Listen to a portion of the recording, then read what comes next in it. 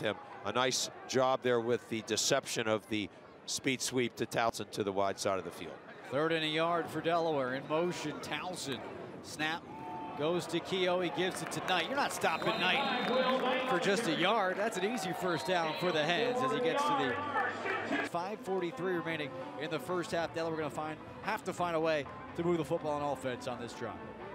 And they've got to find a way to protect Pat Kehoe. Pat, if he has time, is going to have an opportunity to get somebody open down the field. Now, I know Amachi's out, but Miller's come on. And of course, uh, Pitts has got to be employed here in the offense. Uh, has done a nice job of traveling with him and playing man-to-man -man press coverage.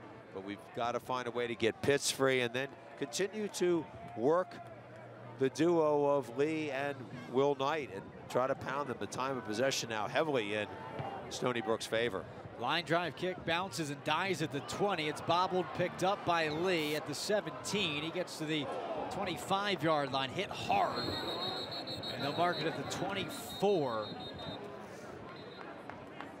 It'll be Delaware football at their own 24-yard line. 110 total yards of offense for Delaware, 64 on the ground compared to 191 on the ground for Stony Brook. 46 through the air, five through the air for Stony Brook. But the Hens, for the first time today, come out trailing on offense. Will Knight, the running back, to start this drive. Knight, five carries, 34 yards. Will Knight up over 100 carries on the season. Team's leading runner at over 700 coming in. Knight finds an opening, makes a man miss at the 35 up to the 39 he goes. He is so hard to bring down is Will Knight and a first down for Delaware. He is about as fun as anybody I've seen run that football for third down and nine. And Dejoun Lee remains the running back on this opening drive for Delaware.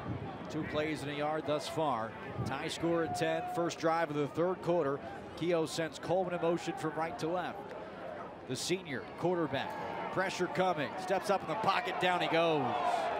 Stony Brook's third tackle for loss of the game makes it fourth down for Delaware. Well, they like to blitz. They like to blitz and passing downs. That time they brought a six-man pressure. Augie Contressa coming in from his outside linebacker position.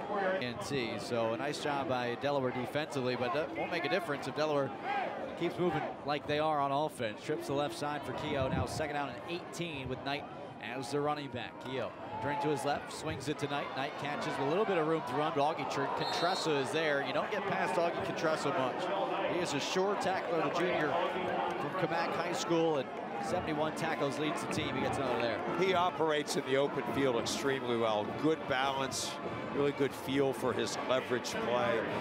And he's also been inserted several times in some blitz situations, and he's very agile and can make the rim run if he needs to. Third down and 15 from the 15 of Delaware. Nine, two wide receivers to both sides for Pat Kehoe. Pressure being shown on the left side. Kehoe moves up to talk to his lineman. Three on the play clock. It's a two and one. Kehoe gets a snap. He's hit as he throws to Townsend, who dropped the football and was hit hard by Gavin Heslop. Augie Contressa is the one who was coming for Pat Kehoe, released the football in time, and then Townsend, I think, might have heard some footsteps with Gavin Heslop closing in. After they show blitz in the middle, they bail those two linebackers out, and then Contressa comes off the edge to apply the pressure, and I think you're right. Townsend, who is a good route runner and usually sure-handed, might have just peaked at that with the safety coming downhill on him. So a big decision here for Jared, a big factor here this afternoon. And Andrew Pawlowski, who's done a heck of a job all season on the punt coverage, came up with the football. Delaware catching a break and has the football after the punt. Lee to the 45-yard line of Stony Brook. Contressa another tackle. And instead of it being Stony Brook football with good field position, it's Delaware's rock as Pritchard sent that one back. After the timeout, 2.46 remaining. Here's Townsend in motion. They'll turn and give to Knight. Knight running hard. Jukes one man, stays on his feet, stumbles ahead for first down yardage. Will Knight. The threat of the fake of Townsend to the wide side of the field off the Sonics sweep left to right allows the defense to start to compensate for that. Will Knight back against the grain into the boundary. Trying to hold Delaware. Third down and seven. Ends up 17 to 10. It'll be Kehoe keeping and going nowhere. Losing a yard, Augie Contressa with a tackle for loss, his 11th of the season, the ninth tackle for loss of the game for Stony Brook, two above their season average, which is 25th best in the country. It'll send Nick Pritchard to punt out of his own end zone. They show basically double A, two linebackers with a nose tackle. They bail those out, and then Contressa comes in from the left side to apply pressure. Nowhere for Pat to run. Pritchard out of his own end zone on